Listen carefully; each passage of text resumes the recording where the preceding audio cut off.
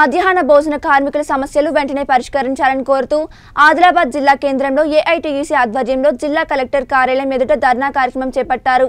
ఈ సందర్భంగా ఏఐటీయూసీ జిల్లా ప్రధాన కార్యదర్శి కుంటాళ రాములు మాట్లాడుతూ కార్మికులకు పనికి తగ్గ వేతనాలు సుప్రీంకోర్టు ఆదేశాల ప్రకారం ఇరవై ఒక్క వేల రూపాయలు పెంచి న్యాయం చేయాలని ప్రభుత్వాన్ని డిమాండ్ చేశారు.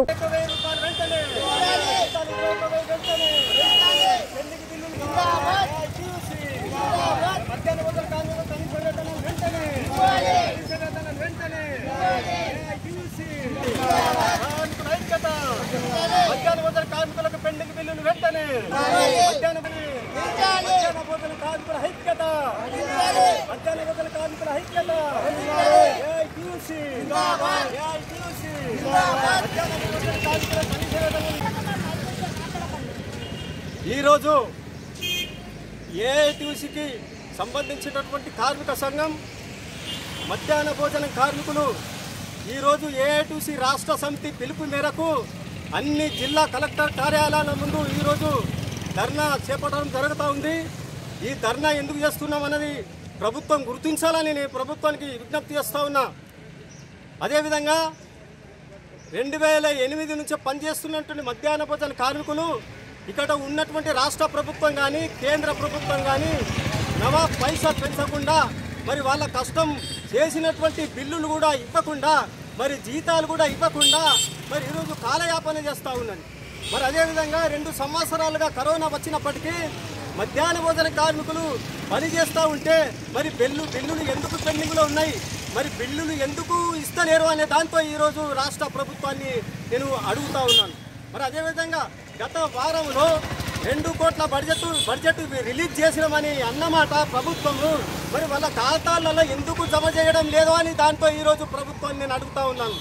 ఈఓ గారిని అడిగితే మరి ఎంఈఓల గారిని అడిగితే డబ్బులు వచ్చినాయి ఖాతాలో జమ చేస్తామని అంటున్నారు.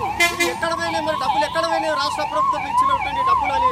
దాంతో ఈరోజు మేము చెప్పడం జరుగుతూ ఉంది. మరి అదేవిధంగా అధిక ధరలు పెరుగుతూ పో- పోతా ఉన్నాయి. నూనె ధర పెరిగింది పప్పు ధర పెరిగింది అన్ని ధరలు పెరుగుతూ ఉన్నాయి. మరి మధ్యాహ్న భోజన కార్మికులకు బిల్లులు ఎందుకు పెంచడం లేదు? ఎందుకు జీతాలు పెంచడం లేదు? అనే దాంతో ఈ రోజు నేను అడుగుతా ఉన్నాను. అదేవిధంగా మరి ఈరోజు పెట్రోల్ కానీ డీజిల్ కానీ అనేక సార్లు వందల సార్లు పెంచడం జరుగుతూ ఉంది.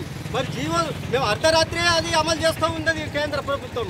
మరి మధ్యాహ్న భోజన కార్మికులకు జీతాలు ఎందుకు అమలు చేయడం లేదా అనే దాంతో ఈరోజు అడుగుతూ అడుగుతా ఉన్నాను. మరి అదేవిధంగా మేము చెప్తా ఉన్నాం పెండింగ్లో ఉన్నటువంటి జీతాలు వెంటనే చెల్లించాలి మరి అదేవిధంగా పెండింగ్లో ఉన్నటువంటి బిల్లులు కూడా చెల్లించాలి మరి ఏదైతే వర్కర్లు ఉన్నారు కుక్కు వర్కర్లు ఉన్నారు మరి ఏదైతే ఆ వర్కర్లకు కూడా ఈరోజు నవ పైస కూడా పెంచడం లేదు. మేము చెప్తా ఉన్నాం కార్మికులకు మధ్యాహ్న భోజన కార్మికులకు ఇప్పుడు కోడిగుడ్డు సప్లై చేస్తున్న ప్రభుత్వం. అది ఎంతవరకు అసలు సప్లై చేస్తున్నది? ఇప్పుడు కోడి కొట్టుకుంటే ఆరు ఆరు ఆరు రూపాయలు పలుకుతా ఉన్నది. మరి ప్రభుత్వం ఇచ్చేది నాలుగు రూపాయల యాభై పైసలు ఇచ్చింది ఇది న్యాయమా? ఇది ఎక్కడ న్యాయం అని నేను ప్రభుత్వం నేను అడుగుతా ఉన్నాను. అది కూడా కోడి గుడ్డుకు ఆరు రూపాయలు వెంటనే ఇవ్వాలి. ఒక్క విద్యార్థికి ఒక్క విద్యార్థికి ఇరవై రూపాయల మెచ్చార్జ్ కూడా పెంచాలని దాంతో డిమాండ్ చేస్తా ఉన్నాం. కనీస వేతనం ఇరవై ఒక్క ఇవ్వాలని కూడా డిమాండ్ చేస్తా ఉన్నాం. మరి అదేవిధంగా చనిపోయిన కార్మికులకు యాభై లక్షలు ఇన్సూరెన్స్ ఇవ్వాలని చెప్తా ఉన్నాం. అదేవిధంగా మరి వయసు మీద పడిన కార్మికులకు ఐదు వేల రూపాయలు నెలకు ఐదు వేల రూపాయలు మరి ఇవ్వాలని కూడా